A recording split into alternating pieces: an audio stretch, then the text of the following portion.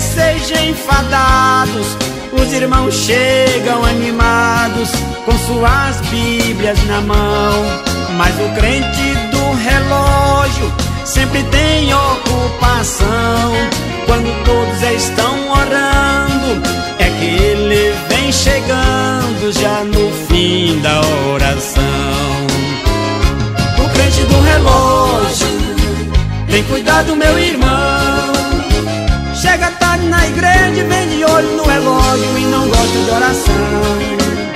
Se o pastor demora muito, prolongando a pregação, ele olha no relógio, se levanta e vai embora assistir televisão. Sete meia e oito horas, ele sai lá no portão. O tempo está encoberto, parece que vai chover.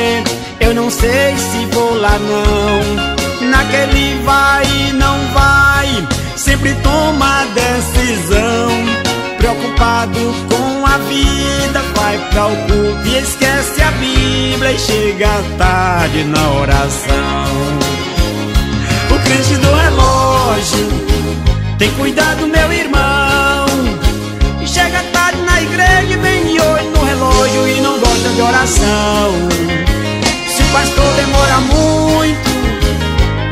Prolongando a pregação, ele olha no relógio, se levanta e vai embora assistir televisão.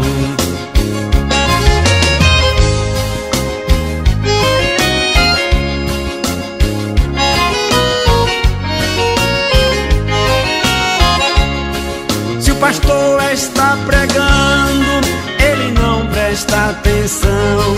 Quando não tá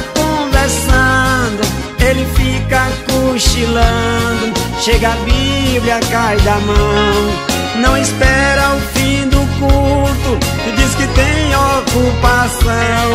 Ele olha no relógio, se levanta e vai embora assistir televisão. O crente do relógio tem cuidado, meu irmão.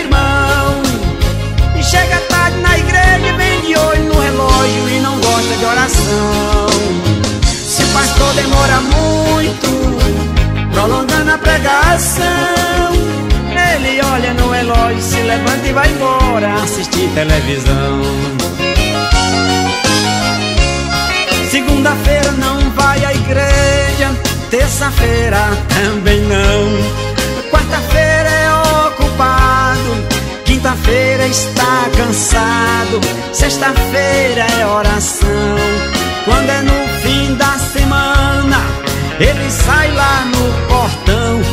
Vixe, tá trovejando e o relâmpago está cortando. Vai chover, não vou lá não.